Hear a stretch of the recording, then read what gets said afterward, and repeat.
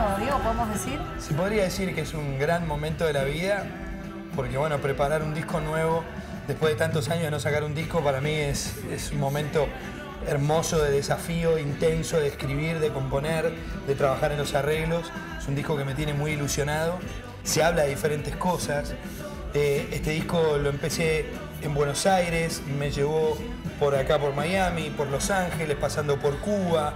eh, y todas esas vivencias creo que, que están ahí muy bien plasmadas en el disco. ¿Y tu paternidad, tu reciente También. paternidad, se ve, se ve reflejada en el disco nuevo? Lógicamente que, que la vida cambia, ¿no? Drásticamente cuando uno es padre, ya no me acuerdo cómo era antes. Claro. Eh, ya te despertás y, y estás ahí conectada con, con- con- conectado con tu hija. Y, y realmente creo que eso se traslada. Hay una canción que habla de eso, ¿no? Y mira lo bien que estás. La vida ha pasado, nos ha pasado la vida. Nos ha pasado nos ha por encima y ha dejado estos dos cuerpos castigados.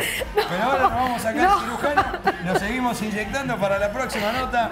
En un mes nos va a ver con más boca, más pera No. las orejas. No, Así. no me digas así. ¿Te harías algo? ¿Te harías alguna No, cirugía? ¿Estás más, bueno, ¿Estás más bueno ahora que antes? Sí, gra- gracias, Bueno, decime la verdad. No, pero vos no te hiciste nada. ¿Cuáles, cuáles son tus secretos? Yo lo único estoy todo depilado. No, pero Estoy no de cirugía.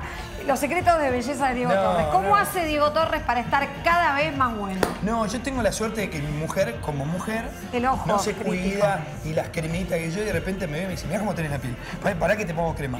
Pero no. O sea que se lo debemos a Débora Bello, Sí, que eh, no, tu evolución física. evolución de simio a, a- de- a Neandertal y de a Homo sapiens son todos procesos que me De Débora. acompañan. Débora, sos una Yo genia. cuando me, agarra- me agarró ella, yo caminaba así. "Uh, uh, uh", y ella me fue enderezando, me fue poniendo. Che, qué trabajo que hizo.